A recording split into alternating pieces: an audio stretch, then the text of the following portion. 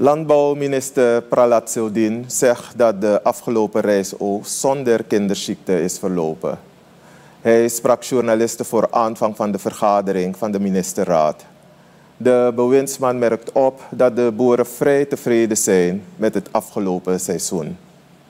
Dit jaar is een, we hebben een bijzonder goed seizoen gehad. Uh, geen enkele calamiteit te melden. En de boeren zijn dik tevreden over de oogst. Men kan altijd toch een, uh, een discussie hebben over de prijs zelf. Maar de oogst zelf, teeltechnisch, alle zaken waren prachtig.